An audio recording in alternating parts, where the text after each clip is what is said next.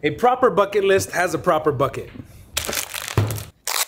Don't cut yourself. Don't cut yourself. Don't cut yourself.